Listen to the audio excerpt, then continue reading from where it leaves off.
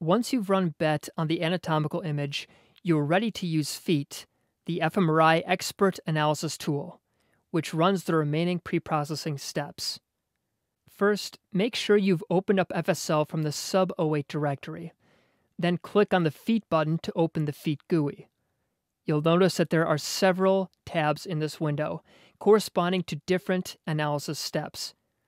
Since we want to focus only on preprocessing, click on the drop-down menu and select Preprocessing. This will gray out the Stats and Post-Stats tabs, which we will learn about in a later chapter. The first step is to load the functional data. Here, we'll be analyzing each run of functional data separately. Click on Select 4D Data, and then click on the folder icon to select the first functional run in the func directory. When you click OK, you'll notice that some of the fields are filled in automatically. The TR and the total volumes in the dataset are read from the image header. Make sure this matches up with the parameters you used to collect the data. If you aren't sure, ask your scan technician. The output directory will contain the results of the preprocessing. Let's call this Run 1. Leave the other options as they are. Again, ask your scan technician if there are any volumes at the beginning of the run that you need to discard due to higher signal intensity in the first few images. In some cases, the scanner will automatically discard them for you. Now, let's click on the Prestats tab. There are several options here, but we're only going to focus on motion correction, slice timing correction, and spatial smoothing. High pass filtering will be discussed when we get to modeling and statistics. And all you need to know about the BET brain extraction button here is that it does for the functional images what we did for the anatomical image. As you saw in the chapter on preprocessing, motion correction will undo any movements made by the subject during the scan. Slice timing correction is up to you. FSL's default is to not do it, and instead account for slice timing differences by including a temporal derivative, another concept that will be discussed in modeling and statistics.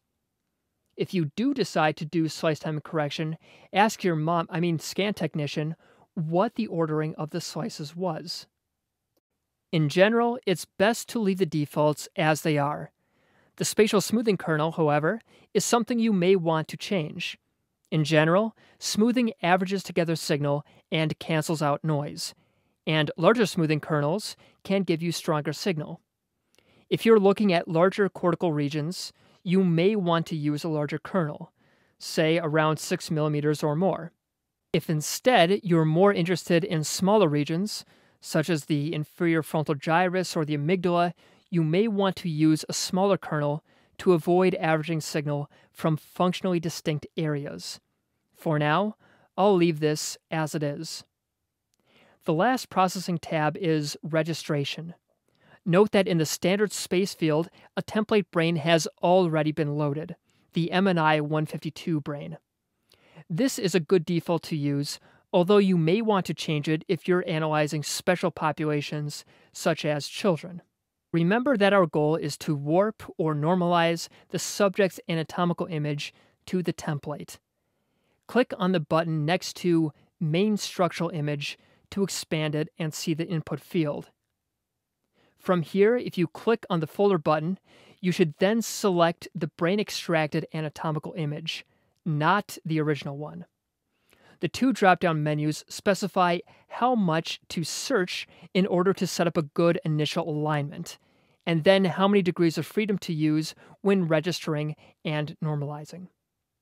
The menus below the standard space field indicate the options to be used for normalizing the anatomical image to the template and the menus below the main structural image field indicate the options for registering the functional images to the anatomical. Note that registration has a BBR option, which stands for Brain Boundary Registration. This is a more advanced registration technique that uses the tissue boundaries to generate a better registration. The only downside is that it takes longer. These options are up to you, but for now I'll set these to full search and 12 degrees of freedom for both. Later on, you'll do an exercise in which you'll change these options to see how they affect the results. Now click Go. This will open up an HTML page tracking the progress of the pre-processing steps. It may take around 5 to 10 minutes to finish. When one of the steps is completed, you'll see the output under the corresponding tab. We'll learn how to interpret this output in the next video.